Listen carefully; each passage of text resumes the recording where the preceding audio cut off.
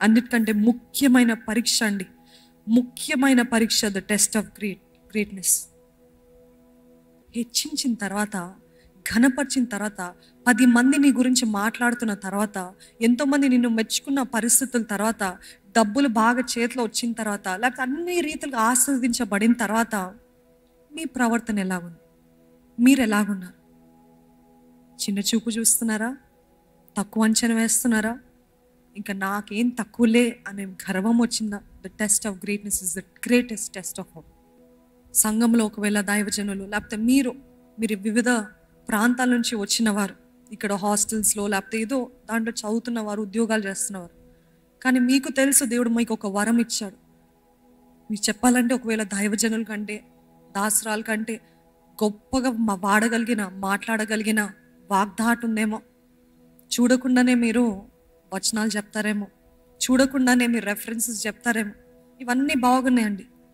కానీ అకస్మాత్తుగా దైవజనులు కానీ లేకపోతే ఎవరైనా లీడర్షిప్లో ఉన్నవారు దాయిట్రా నువ్వు.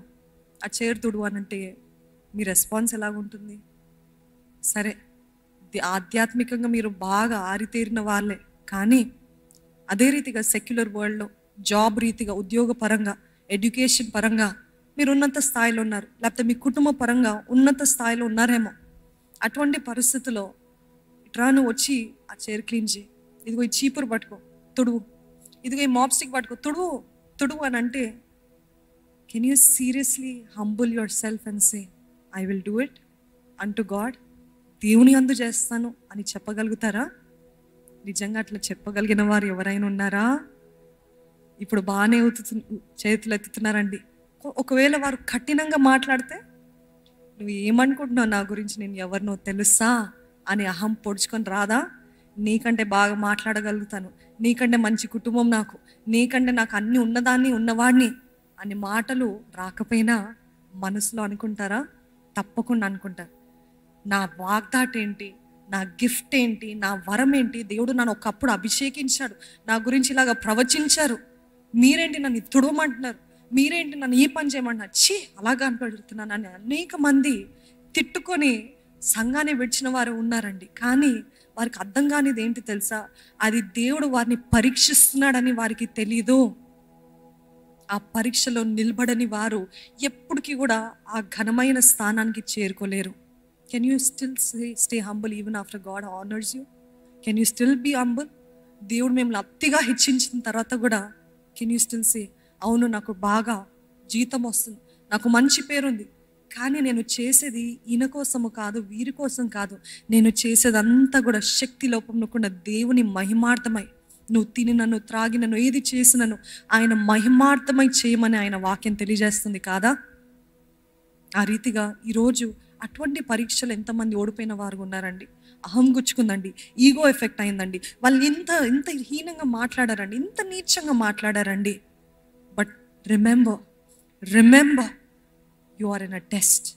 గుర్తుంచుకోండి అది మీరు ఒక పరీక్షలో ఉన్నారని మీరు ఒక పరీక్షలో ఉన్నారని. యు యు విల్ బి ఎప్పుడు కూడా పరీక్ష ముందు తగ్గించబడతామండి. అంటే ఘనత ముందు తగ్గించబడతాము. హెచ్చించబడక ముందు అనగదొక్కబడతాం కానీ నిజంగానే అటువంటి పరిస్థితుల్లో ఎంతోమంది దేవుని దైవజనులుగా దైవ దాసురాలుగా తీర్చిదిద్దబడ్డారు ఎందుకు తెలుసా? ఈ పరీక్షలు ఓడిపోతారు కాబట్టి.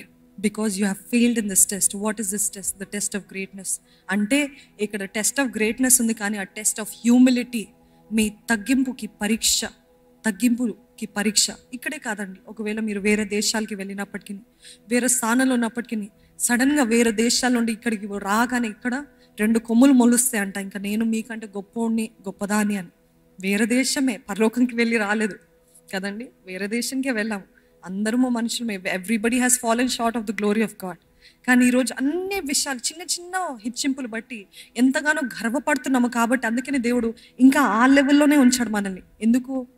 ఫస్ట్ ఆ ఆ లెవెల్ దాటితే తగ్గింపు నేర్చుకుంటే అనుకువ నేర్చుకుంటే వినయము నేర్చుకుంటే లోబడటము నేర్చుకుంటే అప్పుడు నేను నిన్ను హెచ్చిస్తానని చెప్తే no no no no I don't want దట్లో who my నా గురించి ఏమనుకుంటున్నారు వాళ్ళు? వాళ్ళు ఏమనుకుంటున్నారు మీకు అక్కర్లేదండి. దేవుడు మీ గురించి ఏమనుకుంటున్నాడు అది ముఖ్యం. నమ్మిన వారు హాలి లూయ చెప్తారా? ఒకవేళ మీ పక్కన ఉన్న వారు ప్రేరేపిస్తూ ఉంటారు మీ కుటుంబస్తులు ప్రేరేపిస్తుంటారు ఎందుకు నువ్వు వారి కింద లోబడి ఉండాలి? ఎందుకు నువ్వు వీరి కింద లోబడి నాకు నాకు తెలుసురా నీ కెపాసిటీ ఏంటో నాకు తెలుస్తారా నువ్వు ఎంత తలాంతులు కలిగినవాడో ఎంత తలాంతులు కలిగిన దానివో. నీ ఎలిజిబిలిటీ నాకు తెలుసు నీ వాగ్దాటు నాకు తెలుసు నీ అన్నీ నాకు తెలుసు. You have to do great things నువ్వు చేసేది ఏంటి ఇక్కడ? చర్చ్ని ఊడవటమా? చర్చ్ని క్లీన్ చేయటమా? ఈ చిన్న పనికి నువ్వు లోబట్టమా దీనికా? చీచి ఈ పని కాదు నువ్వు చేసే నువ్వు చేయాల్సిన గొప్ప పనులు ఇవి కాదు అని ఎవరైనా చెప్తున్నారా? వారు అపవాది సంబంధులు? అపవాది ద్వారా ప్రేరేపించబడుతున్న వారు there is a time where you have to humble yourself there is a season ఒక కాలం ఉంది ఒక సమయం ఉంది. ఆ సమయంలో మనం తగ్గించుకొని ఉండాల్సిందే. ఎంతగా మీ ఈగు నొచ్చుకున్నా ఎంతగా మీ అహము నొచ్చుకున్నా ఎంతగా మనల్ని కించపరిచినా రానివ్వకండి ఆ గర్వము అహము. తిరుగుబాటు స్వభావం రానివ్వకండి. చెప్పండి I mean a season of test Shimei అనే వ్యక్తి రా దావిదు రాజు పైన రాళ్ళు రవ్వుతూ ఆయనని దూషిస్తూ ఎన్నో మాటలు మాట్లాడుతున్నాడంట. ఆ పక్కనున్న వారు అన్నారంట దావితుతో ఉన్న సైనికులు వాళ్ళు అన్నారంట ఎందుకు నువ్వు ఈయన మాటలు పడాల్సిన అవసరం నువ్వు ఒక్క మాట చెప్పు ఆయన తలకాయ నీ చేతిలో పెడతానని చెప్పారంట. అనంటే దావిదన్నాడు దేవుడు అనుమతిస్తే నేను ఎవరిని అడ్డగించడానికి? దేవుడు అనుమతించాడు తను అలాగా మాట్లాడటానికి. Who I my to stop ఆ మాట ఎవరికైనా ఇప్పటి వరకు వచ్చిందండి రాదు కదా? మన అహం వస్తుంది. అపవాది ప్రేరేపణలు వస్తాయి. గర్వం వస్తుంది. ఎందుకు? దేవుడు అనుమతించాడని ఎందుకు అనుకోకూడదు? ఈరోజు మిమ్మల్ని అంటున్నారేమో మనుషులు. హీనంగా మాట్లాడుతున్నారేమో అవమానిస్తున్నారేమో. నవ్వనివ్వండి అవమానపరచనివ్వండి. ఏదైనా చేసుకోండి కానీ మీరు ఒక్కటి జ్ఞాపకం చేసుకోవాలి. నా దేవుడు నన్ను చూస్తున్నాడు నా దేవుడు నా తలని పైకెత్తుతాడు. హాలెలూయా హాలెలూయా గేలి చేయనివ్వండి నవ్వనివ్వండి. ఎంత అయితే ఎంత అయితే అంత మాటలు మాట్లాడనివ్వండి. దావిది వల్లే దేవుడు అనుమతించాడు దేవుడే నన్ను హెచ్చిస్తాడు. దేవుడు అనుమతి అడ్డగించగలిగింది నేను ఎవరిని? నేను ఎవరిని? అనే వినయము అనే తగ్గింపు మీకుందా? డు యూ హ్యావ్ దట్ ఈరోజు ద టెస్ట్ ఆఫ్ గ్రేట్నెస్ చూడండి ఒక చక్కటి మాట విన్నాను.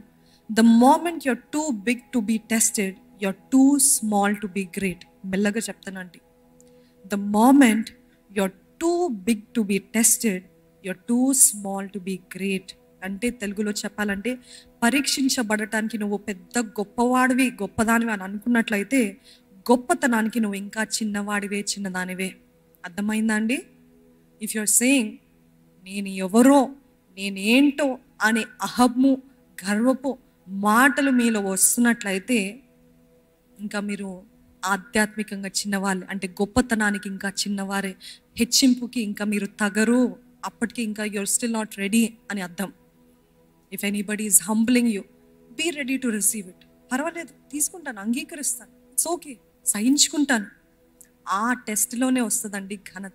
ఎందుకంటే మన దేవుడు చూచుచున్న దేవుడు. ఈజ్ నెవర్ అన్ఫేర్ నిజాయితీ కలిగిన దేవుడు న్యాయం తీర్చే దేవుడు. అన్యాయస్తుడు కాదు న్యాయము లేని వారి పక్షాన పోరాడేవాడు మన దేవుడు. అన్యాయంగా మీ గురించి మాట్లాడుతున్నారా? అన్యాయంగా మీ ఎడల ప్రవర్తిస్తున్నారా? అన్యాయంగా మీ గురించి గేలి చేస్తున్నారా? హేళన చేస్తున్నారా? మీరు చేయని తప్పులు కూడా చేశారంటున్నారా యుద్ధము యహోవాదే. నా దేవుడు నా పక్షాన యుద్ధం ఆడతాడు don't say I will fight for myself నేను పోరాడుతానంత వరకు దేవుడు ఎప్పుడు మీ పక్షాన పోరాడాడు ఎప్పుడైతే మీరు ఒక అడుగు వెనుక వేసి దేవా యూ టేక్ ద లీడ్లో నేను నీకే అప్పచెప్తున్నా. ఈ మాట విను. ఈ కార్యాలు చూడు ఈ అవమానము చూడు అని ఆయనకు అప్పచెప్తే the moment you're too big to be tested you're still not ready for God's glory upon you you're still not ready for God's honour upon you but when you're ready when you accept it ఏదైతే అంగీకరిస్తారో అప్పుడు అంట దేవుడు అంటాడు ఇదిగో this is your time this is your time ఇదిగో నేను ఘనపరిచే సమయం ఇదిగో ఆసనమైంది. నీ తలెత్తు నీ తలెత్తు అని చెప్తాడండి మన దేవుడు.